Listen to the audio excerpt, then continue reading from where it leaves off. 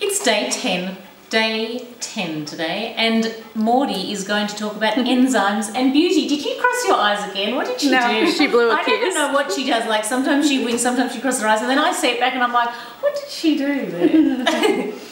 So we were talking about enzymes, and um, you know we hear the word a lot. And what you need to know is when you hear enzyme, hear beauty, because what it does is it's a living enzyme. It's living. The moment you eat enzymes, they activate all your cells. And what's our biggest cell? Our skin. It's constantly pumping oxygen, water, love, light, goodness to our whole entire being. So when you hear enzyme rich, you need to know that that is going to filter your body with lots of beauty and lots of love.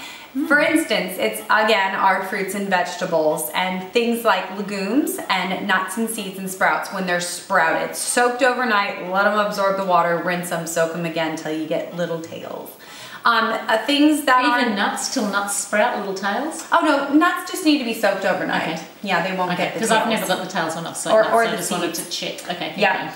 Um, and then uh, another thing, don't dehydrate things after they've been sprouted because then you're just taking the water out that you put in, so it's counterproductive. But a lot of raw food companies do do that, but it's not necessary.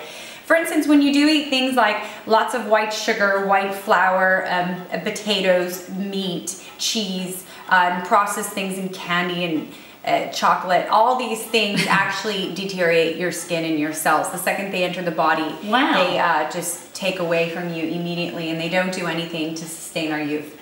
So next time you eat, eat some uh, So enzyme when, rich food. so when you see What are foods that are enzyme rich? Like, what's an example Sprouts. meal? That's why I brought them up. Sprouts, anything. If you can buy celery sprouts, beet sprouts, alfalfa Oh, yeah, you sprouts, were telling me bean about the baby sunflower sprouts before. Yes. Any sprouts are the highest enzyme rich foods that you can consume out there. Yeah, and so when you see the word enzyme on a beauty product, does that, like on a moisturizer or something, does that mean it's alive or are they allowed to use that word enzyme? Mm-hmm. They use that word actually, but um, typically what they're doing is they're getting products like calendula, aloe vera, and um, products that are a lot of oxygen in them, Yeah. and then um, they'll grow them in a petri dish and, and sprout them themselves and put them in a cream. But if they're not kept cold in the refrigerator and they're out inside of your house, they just deteriorate. oh, should we mo- keep our moisturizers in the fridge? Yeah, you buy enzyme-rich uh, moisturizer. There we are. Keep them in the refrigerator. That's so interesting, I didn't uh, know that. Yeah, there's a couple out there. Dr. Hauschka products are excellent enzyme-rich products, and they do keep a lot of hmm. them chilled until you buy them.